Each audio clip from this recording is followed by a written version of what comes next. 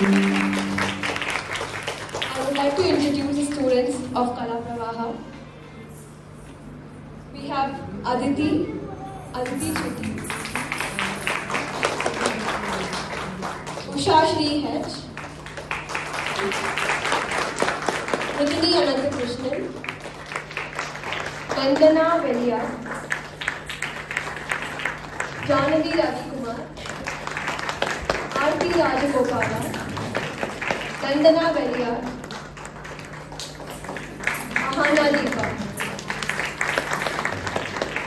Kalapravaha School of Dance has been set up to further the great, art of Bharatanatyam to the next generation and is the outcome of the vision and passion of Guru Smita Raghunath. It is my honor to be a disciple of Guru Smita Raghunath ma'am and we are all blessed to be performing under her tutelage in this august premises.